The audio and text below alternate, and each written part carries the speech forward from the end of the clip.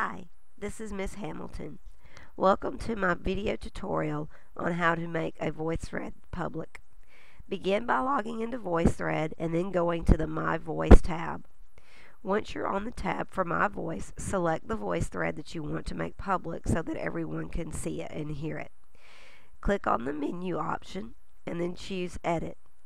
Once we go into editing mode, we're not going to make any changes to the VoiceThread itself, but instead look at the bottom of your screen and choose Publishing Options. We want to make sure that we check the first and third selections. We want to be sure to check Allow Anyone to View so that whether you give someone the link or we embed it on a web page, people can listen and see your VoiceThread. We also want to choose Moderate Comments. This way you have control of any comments that might be made on your project. Then press Save.